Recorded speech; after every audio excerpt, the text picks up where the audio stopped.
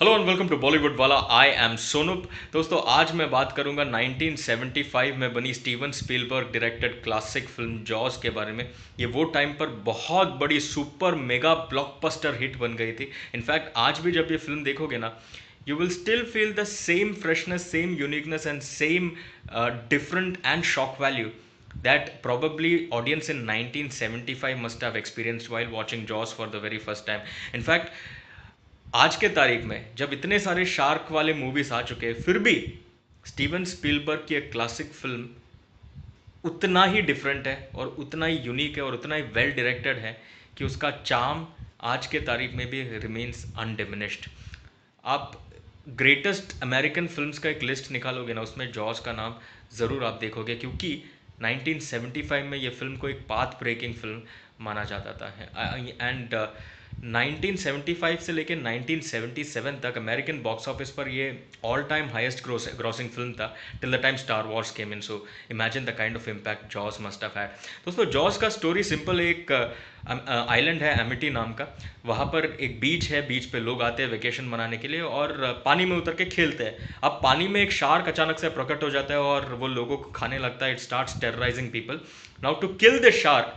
three people take it as a challenge. One is a police officer, second is an ocean uh, ocean expert, oceanography expert, और तीसरा है एक shark hunter एक professional shark hunter ये तीनों लोग मिलके बोट पे निकल पड़ते हैं शार्क को ढूँढने के लिए और उसको मार डालने के लिए. Are they able to do that are they able to hunt the shark and kill it और will the shark eat them and kill them all that is what the film is all about दोस्तों, इस film में सबसे पहली बात तो जो shark को दिखाया गया है ना, इतना रियल लगता है, इतना रियल लगता है कि आपको लगेगा ही नहीं कि यार कोई आर्टिफिशियल शार्क के साथ शूट किया है। इनफैक्ट आज के तारीख में आज के जो, आज के ज़माने वाले शार्क फ़िल्म आप देखोगे तो वी एफ़ एक्स रिलेटेड इतना आर्टिफिशियल इफ़ेक्ट वाला शार्क आपको देखने मिलेगा कि वो शार्क देखने का मज़ा ही निकल जाएगा। लेकिन 1975 में बना जॉस में जो शार्क स्टीवन स्पीलबर्ग ने दिखाया, वो इतना रियल है कि वो जब चक्कर काटता है बोट का, या फिर जब ऐसे उसका मुंडी बाहर आता है यू नो पानी से, या फिर जब लोगों को काटने लगता है, कच्चा चबा जाने लगता है, यार, इतना रियल और इतना ब्रूटल लगता है कि यार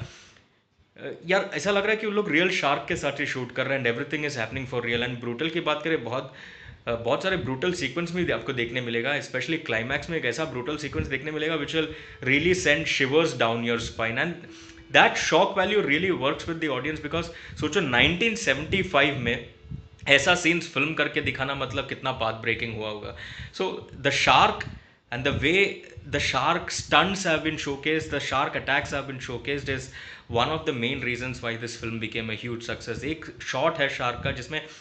पानी के नीचे अंडर वाटर केज को जाके वो अटैक करता है और केज को तोड़ देता है यार। क्या फिल्मिंग किया वो सीक्वेंस को। दूसरा एक सीक्वेंस है जिसमें शार्क ऐसे पानी के ऊपर आता है कुछ खाने के लिए एंड वो ऐसे आ जाता है यार it looks like a jump scare moment यार। It will really scare you as an audience so shark related sequence super best and climax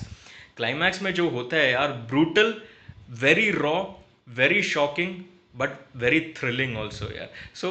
one of the major reason behind the success of the film is the shark itself of course उसके बाद climax बहुत brilliantly film किया गया है। तीसरा under water sequences को बहुत अच्छे से शूट किया एक सीक्वेंस है जो एक अंडर वाटर केज वाला तो मैंने ऑलरेडी बता दिया। दूसरा एक सीक्वेंस है जिसमें वो जो ओशन वाला आदमी ओशन एक्सपर्ट है, वो पानी के अंदर जाता है टू इंस्पेक्ट अ बोट तो बोट को इंस्पेक्ट करते करते पहले उसको एक शार्क का टीथ उसके हाथ में आ जाता है। उसके बाद एक बोट में एक होल बना हुआ रहता है। तो वो होल के अंदर जैसे जैसे वो जाने लगता है, यार, क्या है, क्या नहीं है जस्ट टू इंस्पेक्ट वो टाइम पे कुछ तो सडनली होता है वहाँ पर और वो देख के ना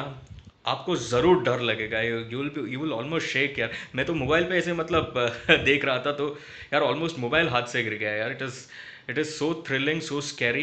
but so accelerating also and फिर above all Steven Spielberg's brilliant direction यार, क्या डायरेक्ट किया क्या इंगेजिंग स्क्रीन प्ले लगा ऑलमोस्ट दो घंटे की फ़िल्म है। तो यार it's it's it's a it's a great ride यार. It's a great ride so to speak and plus John Williams का award winning music BGM specially वो अंडर वाटर वाला जो सीक्वेंस मैंने बताया, जो ओशन वाला आदमी जब जाता है, वो बोट इंस्पेक्ट करने के लिए, तभी जो बीजीएम बचता है ना यार that only amplifies the horror और the fear plus the other kind of BGMs that you get to hear is sometimes almost like a symphony and works like a charm again दोस्तों brilliant film Netflix पर available है आप जाकर देख सकते हो क्या मैं बताऊँ यार स्टार्स की बात करें तो फोर स्टार रेटिंग दूँगा मैं it is It is a must watch. If you have not watched it, watch it. If you have watched it, watch it again. You will still love it. For the moment, Sonuk says, Tata.